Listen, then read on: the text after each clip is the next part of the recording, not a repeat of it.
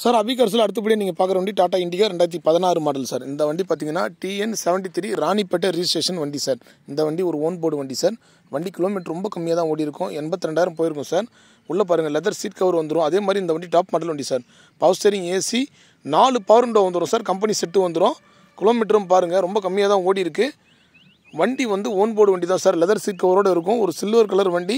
இங்கே எங்களுக்கு local registration வண்டி சார் டிஎன் செவன்ட்டி த்ரீ வண்டி பாடி லைன் அவுட்லுக் எல்லாமே தெளிவாக இருக்கும். வண்டி டிடி என்ஜின் சார் இது. அவுட்லுக் எல்லாமே நல்ல கண்டிஷனில் இருக்கும். ஏன்னா இண்டிகா நிறைய கஸ்டமர் கேட்டிருந்தீங்க.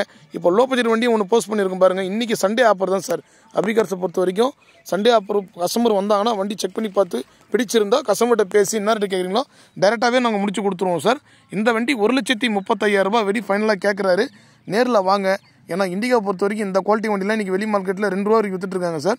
நம்ம ரொம்ப சீப் அண்ட் பெஸ்ட்டாக தான் எல்லாமே ஆஃபர் ப்ரைஸாக தான் எல்லா வண்டியும் கொடுத்துட்ருக்குறோம் இந்த வண்டி ரெண்டாயிரத்தி பதினாறு மாடல் சார்.